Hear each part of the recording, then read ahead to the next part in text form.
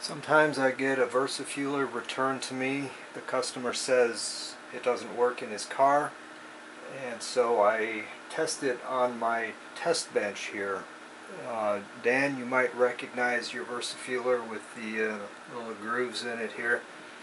Uh, this is a switch that lets me select the eight inputs and eight outputs independently. This power supply is supplying the VersaFueler. This power supply is supplying the injector. I've got an oscilloscope here that is measuring the input signal to the VersaFueler and the output signal to the VersaFueler.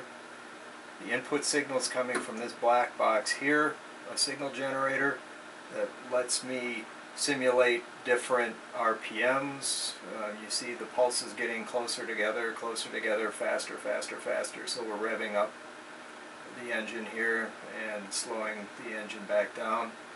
I can also simulate different pulse uh, duty cycles. You see the uh, the on time of the injector is the low part of the pulse here and the off time is the high part of the pulse.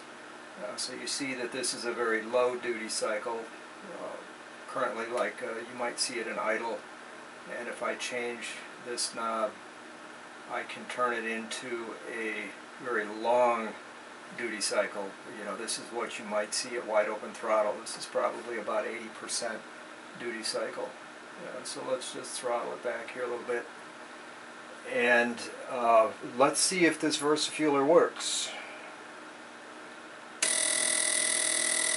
Turn on my current probe. This probe measures the current going to the fuel injector. Uh, what you see here is when the computer commands the injector to open, it grounds the input. You see the injector current rise quickly to the peak value of 4 amps and then drop back to the hold value of 1 amp. Uh, one of the features of the VersaFueler is that uh, it will drop the injector current down to 1 amp even if the injector never reaches 4 amps you can see that happen if I decrease the injector drive voltage. Now you, you see the change in the width here. What's happening is the VersaFueler, the, the injector current is not reaching 4 amps, but the VersaFueler is cutting the hold current down to 1 amp anyway. Uh, people ask me sometimes uh, how tolerant is the VersaFueler of different voltages, battery voltages. Here I'm at 13, 12, 11, 10, 9, 8, 7, 6, 5 I think we'll see it go sour. Yeah, maybe not. Maybe just keep running. Very tolerant of different operating voltages. Um, if you don't think I'm really running the VersaFueler with this power supply, I'll turn it off turn it back on. Um, you can see the effect uh, of, on the VersaFueler output if I rev the engine up.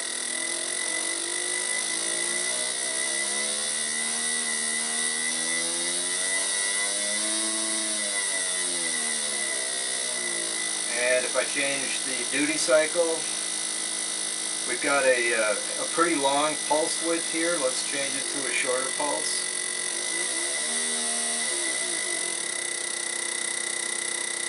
Now you can see we have a very short pulse, uh, probably about what you'd see at idle.